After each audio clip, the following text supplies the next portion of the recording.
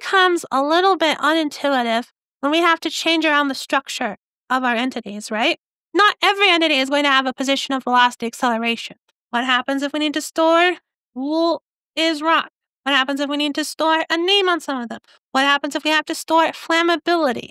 Well, the idea behind the entity component system is we take this idea of instead of having arrays of structures, having structures of arrays, and makes it generic. Well, how do we do that? Well, we start making what are called components. So struct component, so we might have a position component, which is a vec3 pos. We'll put that in the right spot.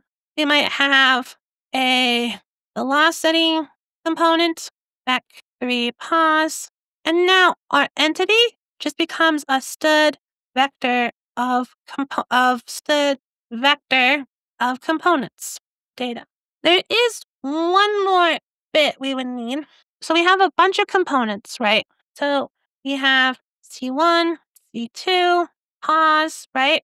And so we have data, data, data, data, data, data. Well, now we need what's called an entity. And an entity becomes a row in all this data. So we can go, and an entity is just an index, right? So our entity here would be zero, then our entity here might be one, and so on. So we have an entity that indexes into this array of components. And entities can just be using entity equals some integer.